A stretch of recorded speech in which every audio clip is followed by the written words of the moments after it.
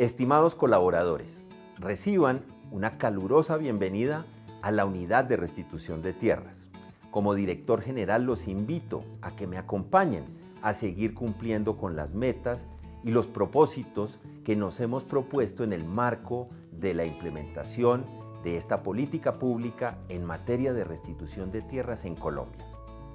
Confío plenamente en sus capacidades y compromiso para que desde sus actividades diarias contribuyan a la consolidación de la cultura de la legalidad, del emprendimiento y la equidad en el país, permitiendo que las víctimas de abandono y despojo retornen a sus tierras para recobrar su identidad de forma articulada y legítima, y así fortalecer la reparación integral como un proceso de reconciliación que permite la verdadera transformación de las víctimas en empresarios del campo.